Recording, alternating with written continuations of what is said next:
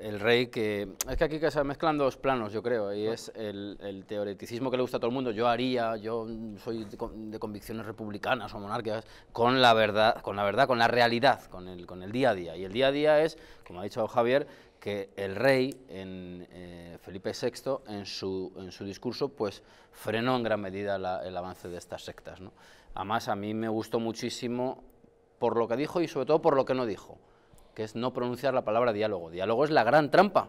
Diálogo es la gran trampa de la democracia española, que es algo de hecho, además está muy bien traída la crítica esa sutil a Juan Carlos I cuando dijo, hablando se entiende la gente. Es decir, el diálogo no sirve para nada con unos individuos que ya te han dicho por activa y por pasiva y que te hacen estos desplantes, esta panda de groseros provincianos, eh, que lo que quieren es destruir la nación. Es que no se andan con tapujos, entonces no hay nada de qué hablar. Por otro lado, yo también me, me, admiro de cómo, qué cuajo hay que tener para que un tipo como esto, el, el Joaquín Torra, quiero decir, el máximo representante del Estado en Cataluña, que eso es lo que es, te aparece con un lazo en la solapa.